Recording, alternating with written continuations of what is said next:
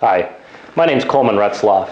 I'm the Western Territory Sales Manager for Quest Climate Control Equipment. I wanted to take a minute today to talk with you about dehumidification equipment that's available for the construction market.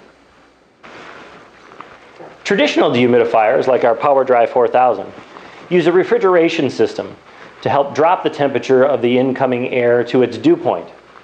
That allows the moisture vapor in the air to condense into water, much like the outside of a beer bottle on a hot summer day, the way the outside sweats. A refrigerant style dehumidifier works well in an ideal temperature range of about 70 to 90 degrees. Once your ambient temperature drops below 70 degrees though, there's not enough heat load on the refrigeration system, so it tends to ice up and then the machine has to shut off to in order to defrost. During that time, you're not pulling any water out of the space. I'd like to introduce you to a technology that's been around for quite some time, but that you might not be familiar with. It's called a desiccant dehumidifier. Our Model 385 desiccant dehumidifier absorbs moisture out of the air using a silica gel material, much like those little packets of silica gel you find in that new pair of shoes you just bought. This silica gel material isn't as temperature dependent as a refrigerant dehumidifier is. So it dehumidifies below that 70 degree mark very efficiently. As it absorbs that moisture, the water is then driven off by a heating element and the water vapor is then ducted outside.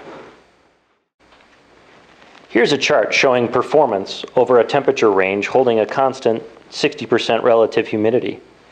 As you can see, the desiccant performance plateaus, where the refrigerant dehumidifier drops drastically.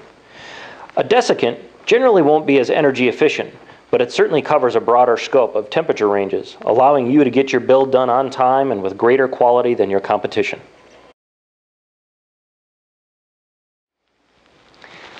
Both of these models, the PowerDry 4000 refrigerant dehumidifier and our 385 desiccant, will treat about 4,000 square feet. We also have desiccant models available that'll treat up to 9,000 square feet in a 220 volt application, all the way up to our 4800D that will treat 50,000 square feet.